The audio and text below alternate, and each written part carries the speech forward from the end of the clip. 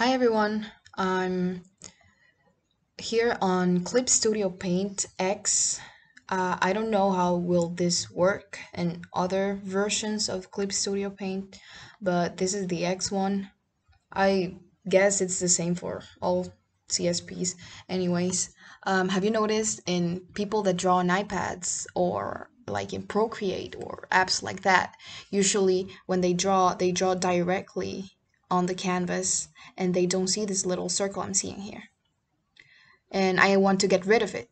So I will, the only thing you have to do is go to File, Preferences, choose Cursor, and now you choose the cursor you want for uh, either the pen, the the brush, the eraser, or anything really.